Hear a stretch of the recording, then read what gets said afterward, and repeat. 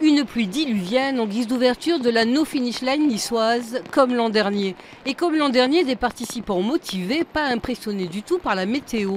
Objectif, cumuler à eux tous 60 000 km pour récolter 60 000 euros. À titre personnel, c'est l'entraînement que je peux faire ici à cette occasion pour les compétitions que je prépare pour des longues distances. Et en plus, euh, bah, c'est un, entraînement qui est positif puisque ça apporte de l'argent aux enfants hospitalisés ou défavorisés.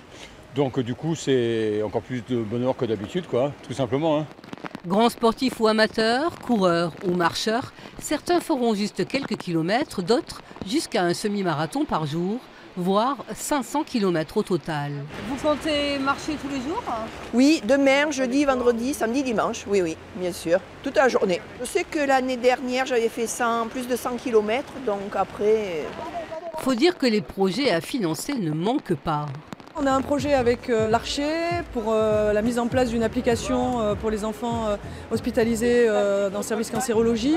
On a un projet avec l'association ALC pour permettre à des enfants qui ne partent pas en vacances de partir en vacances, faire voler des enfants en avion et on a beaucoup d'autres projets aussi. 5 jours, 4 nuits, c'est 98 heures de course ou de marche. Même nos amis à quatre pattes peuvent faire grimper la cagnotte.